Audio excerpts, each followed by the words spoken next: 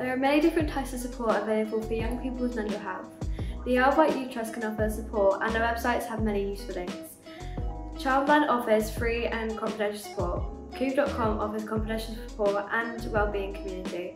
All of these and more are linked below.